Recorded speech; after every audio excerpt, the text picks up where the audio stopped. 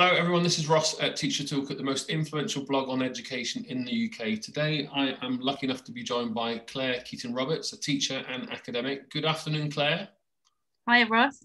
Uh, thank you for joining me. So, just for context for everyone listening, uh, Clare and I uh, are at the Faculty of Education, or we were. Clare has just graduated uh, in her doctorate. So, congratulations, Clare.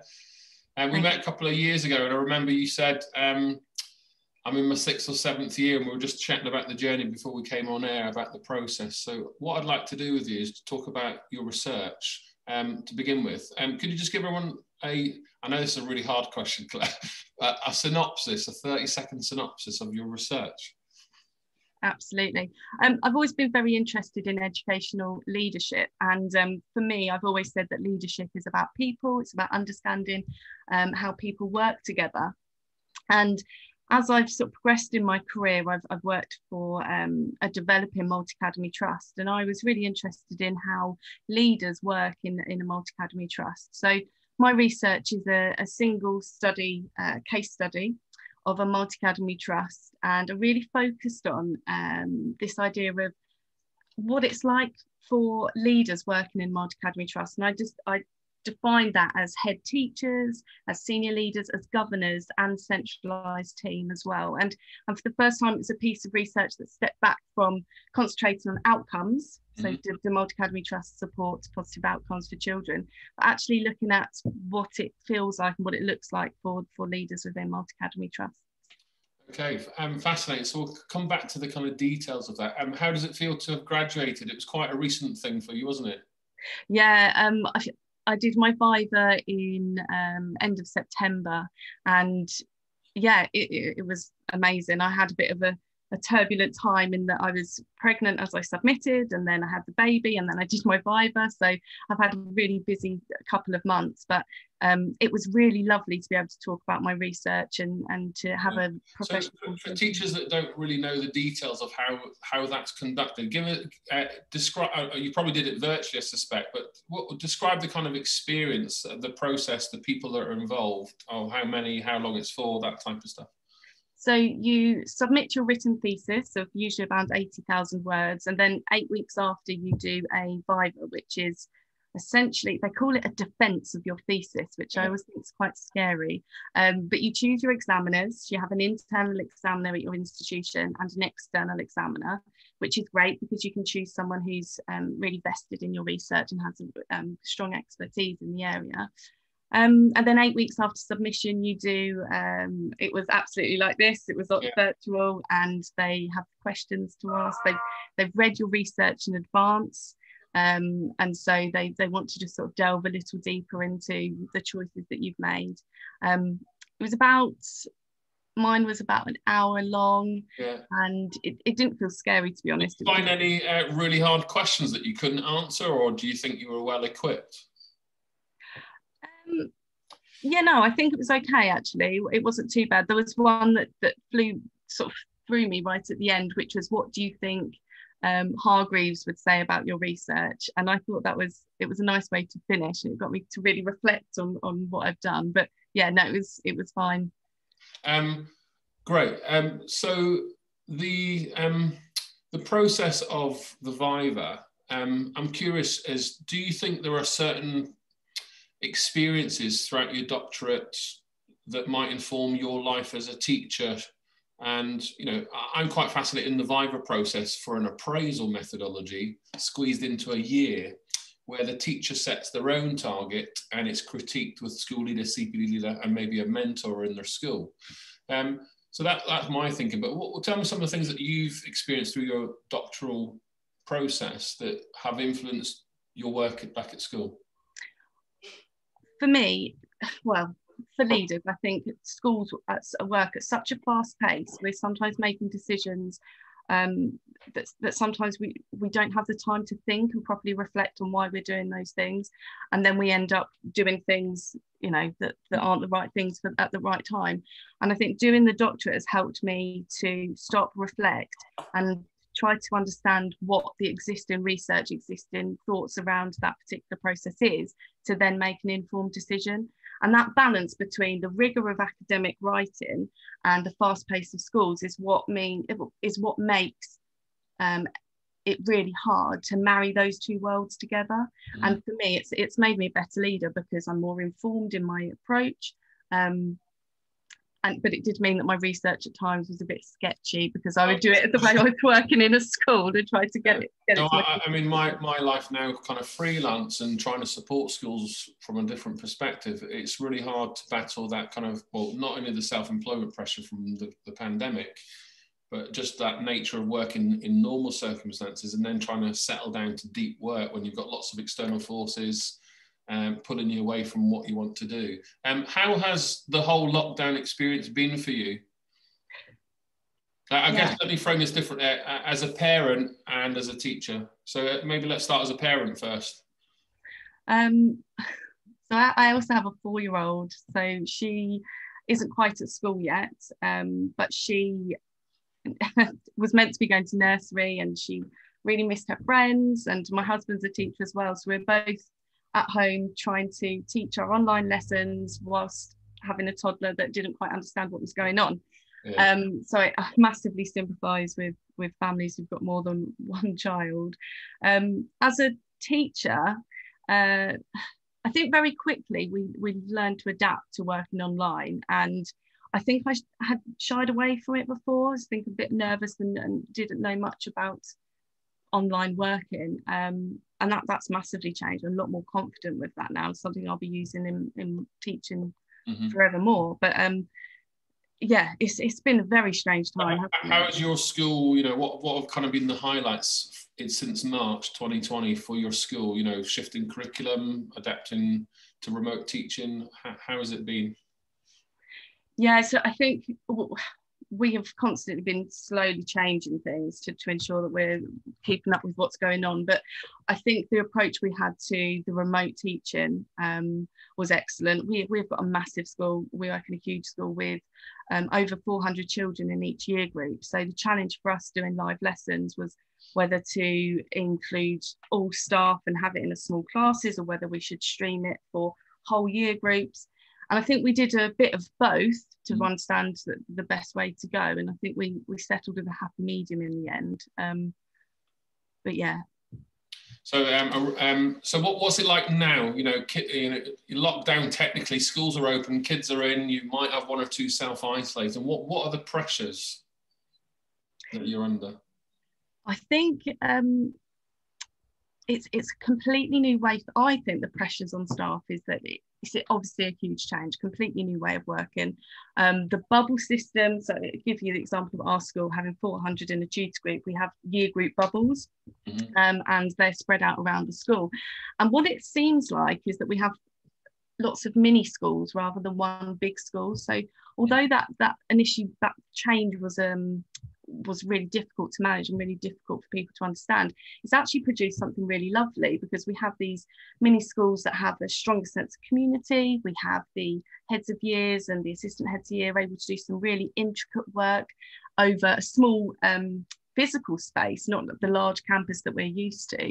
Um, and I think that's been a real strength actually, and it's, it's going to change how we approach mm. um, you know the physical being of our buildings and the structure of our lessons. Yeah, I've heard, I've heard quite a few stories that uh, you know there are some positive consequences, I guess, of the virus, making people rethink about how they'll approach um, things. Have you had any, um, you know, any cases with staff? Yes, we have had. yeah. Um, so it's interesting because you know the you know, I'm looking at the unions and calling for transparency, you know, calling for the government to fund schools to cover those costs. What, what, you know, without going into too much confidential details, what have been the key messages around your leadership team in terms of where real difficult decisions have had to be made? Um, it's quite difficult for me to answer that actually, Ross, because I'm actually on maternity leave again, so I'm I'm a little bit detached from, okay, sure. in that sense. Um, so you're kind of observing at a distance in some. So you've been at home since when? Um, maternity. so my maternity started July, um, but I've been at home since March. So um, uh, so let, let's just shift on slowly to kind of life as a, a teacher, the kind of flexible working agenda. Um, what are your thoughts? I mean, I, am sure at some point it's either crossed your mind or it's something you might want to speculate in the future. I don't know. I don't want to get too personal, but um, how is flexible working from your perspective? Um, so I worked full time before having my first daughter. Mm-hmm. And then I went to 0.9 and 0.8 and flitted between 0.9 and, and 0.8. Um, and really, that was for me to complete my research because um, I'm a strong believer that, that a weekend for me is my family time. And so I always had Monday to Friday as my work time. Mm. I would have family time between five and seven, um, and then put the child to bed, and then um, I would do a little bit more work. So I, I think the challenge that that um, parents have, and particularly women as well, um, is having that cut-off period uh, between work and and being a parent, and not to be really hard on yourself because mm-hmm. I've my daughter's four now, and I've I've found it extremely hard to not. I would say to myself, I'm not being a brilliant colleague, or I'm not being a brilliant parent, and I think that's okay. You mm-hmm. can't be the best person you so, want to be all the so time. So, what advice have you been giving yourself? You know, if we talk about this mental health um, discussion, um, how do you, um, you know, that that perfectionism that we all have, especially as teachers, uh, how do you manage that? I, I have battled with that. I have really battled with it. And for me, I have to that have to with my work stuff, I have to draw a line and say, that can wait, that can wait till tomorrow, that can wait till um, whenever it can wait to and prioritize. And it's I hear these words and I hear people give me that advice five, ten years ago, and it, it didn't mean anything. Yeah. Um, there's probably people listening saying, "No, oh, yeah, everyone says that," but you have to be so strict with yourself, taking your emails off your phone, um, not being tempted to have a look at your emails over the weekend it's really, really important. Uh, so um, I'm sure you are, you know, obviously maternity and lockdown and things like that. But um, what what tips would you give to new teachers in particular who are joining the profession at this time? Uh, have started in September, uh, dealing with lockdown, dealing with remote teaching, you know, all the mental health. Give us give us maybe one or two insights or stories, and what would be your top tip?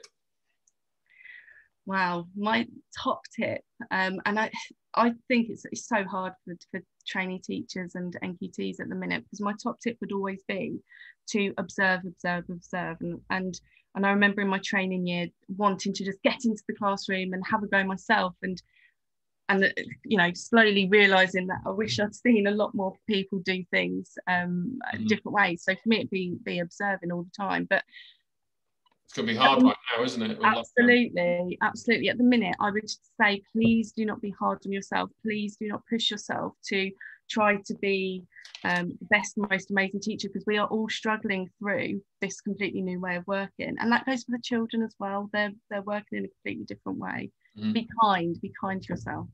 Um, and you know, for school leaders, you know, uh, when I, you know, my life as a deputy, it was do your work after school hours or first thing in the morning. I used to do the cover, so I was in my desk at six o'clock, six thirty sometimes before the kids and staff started to come in, and then I knew I was dealing with their agendas, not necessarily mine. What would be your top tip for school leaders at this time?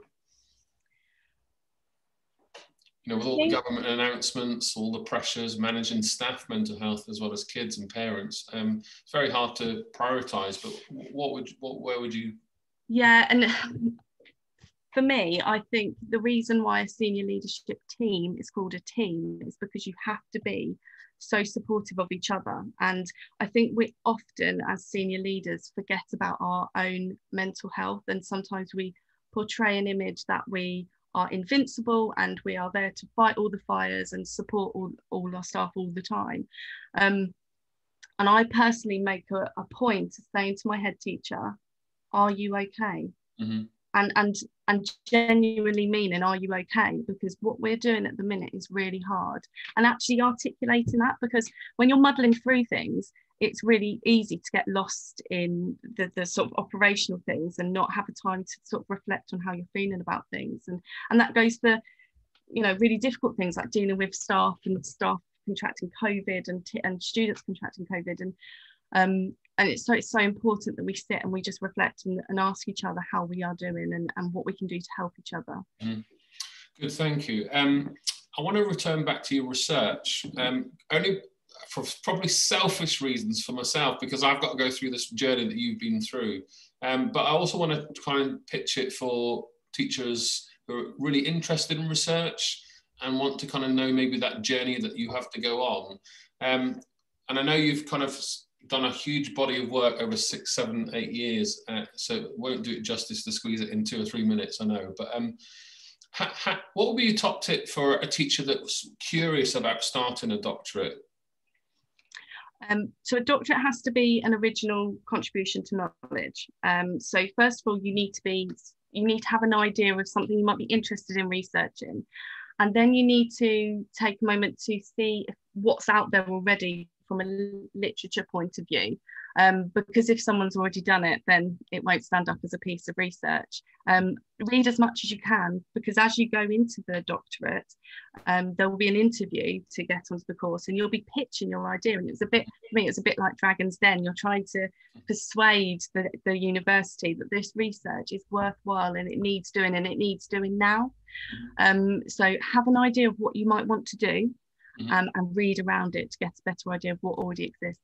Now, I, I think I've I've personally grasped the methodologies, the kind of mixed methods that you can explore. Um, could you just uh, articulate to listeners the method that you used, uh, how you grappled trying to identify what, where, which path to go down, and and and what benefit it had of selecting your particular approach?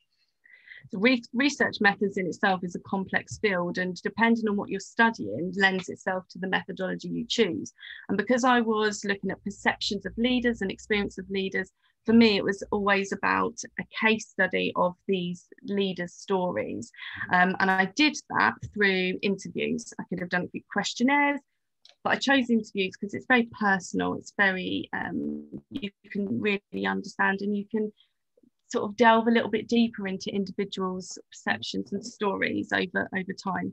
Um, I have an added um, element to my research is that it was longitudinal. So mm. I had two data collection points that were three years apart, which right. also added to the unique nature of my research is understanding a multi-academy trust over a period of time rather than one period of time. Um, and how did you get into a rhythm of writing and reading regularly? Um, to be honest, I don't think I did. Uh, it was very ad hoc. Uh, before lockdown, I would religiously on a Saturday um, go to a coffee shop and just do writing there because I didn't have any distractions. Um, and I, I enjoyed that. And then lockdown happened. And to be honest, lockdown saved my doctorate because I was stuck in the house and all I could really do is do my writing the, the bit at the end is particularly difficult because you have all of the um, the data coming in and things like that. Like referencing and bibliographies. Um, so, what are your top tips there for someone who's still got to dabble with all that uh, and pull my finger out? What will be your top tip? So, your bibliography definitely use a piece of software that will help you with that, like Zotero, um, because you will end up having 200 to 400 different um, papers that you'll be referencing. In terms of the referencing, I made a, a bit of a mistake and I had, had to um, do a lot of work at the end. Uh, make notes of what you're referencing all the time, have it in one central place you can flick back. Yeah. I ended up having quite a few research journals, um, but the, over eight years, there was a lot of flicking through to try and find which paper that was from. And I wish I had recorded that a lot better, to be honest. Now, um, I'm curious, what what from the experience of your doctorate, what what things have you learned that you now applying to your life as a school leader? So my research was about um, leadership in a multi-academy trust. And one of the things that I found is that um, leaders were not sufficiently aware of, um, of, of understanding the trust they're working in. Sometimes this, you know, generalisation here, um, and so for me, it's it's made me a lot more aware of the trust I'm working in. It's it's made me ask questions about the trust and how I can, as a leader, support the trust and how the trust can support me as a leader. And so, personally, it's it's it's made me ask some questions about my leadership. And what what impact or what do you think you're going to do next now it's published? So I'm really interested in working in newly formed multi-academy trusts mm. and those that are established but are asking other academies to join.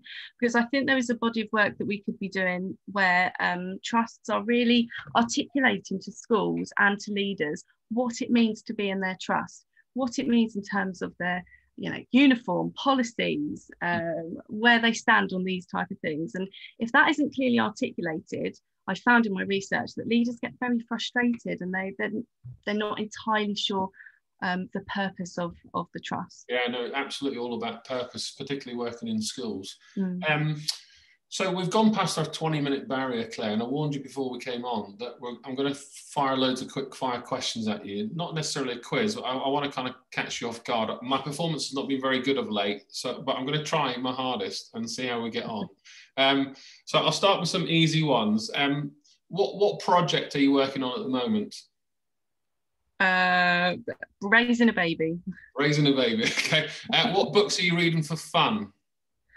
Um uh, Hello magazine.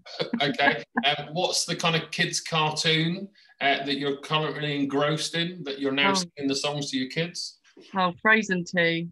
Frozen 2. Okay. Uh, a piece of advice um, for a teacher who's starting to get interested in all this cognitive science research. Read, read, read, have an opinion, form your own opinion dream job now i'm assuming doctoral research and teaching is your dream job but what's that one off off the wall career that you wish you'd done ballet dancer ballet dancing fantastic um what's your biggest career achievement today um, that's a hard one. Oh, oh, creating a building a really positive and well-formed team within the team I'm working with at the minute. Okay, great. Um, three positive characteristics that you know you're working in a great multi academy trust? Um, collaboration, uh-huh. uh, openness, uh, and transparency. Okay. Uh, what did you have for dinner last night? These are hard, Ross. Right, so I'm testing your memory recall. Um, uh, lamb. Lamb, very nice. Uh, was it seasoned? um, who would you recommend I interview next and why? Um, um, um, um oh, that's a very hard question. Toby Greany, because he is the oh, guru. Oh, Toby, yeah, okay. Academy Trusts. And, and why, why, why Toby? He the stuff he's writing at the minute about multi academy trusts and where they are positioned at the minute is really forward thinking. Okay, fantastic. Um, where can listeners connect with you more? You know, read your work or connect online. You know, Twitter, blogs, websites. Yes, I'm on Twitter at Music Seahood, um, and I will share with the world my published work when I get around to it. Fantastic. After raising the baby. My final question, Clare, uh, what would you hope to be your legacy? In terms of my research? In terms uh, of anything? Anything, anything and everything. I want teachers, I want leaders, I want people I work with to know that I care about them and to know that um, they are doing a good job and that good job is appreciated. Fantastic. What a lovely uh, way to end. Uh, so, Dr. Clare Keating Roberts, um, thank you so much for your time. It's been a real pleasure. Uh, really, congratulations. Uh, haven't seen you go on your journey, or at least the latter half of it. And uh, you got your hands full there at home. Uh, but I look forward to your research being public uh, and seeing what impact it has on, you know, the Multi Academy Trust dialogue in England in particular, as you'll know, is very vast transparent in places, opaque in other parts. Um, so it'd be a fantastic contribution. Uh, and I wish you all well with the rest of your maternity leave, lockdown, and everything else. Um, so thanks, Clare, very much. Great. Thanks, Ross.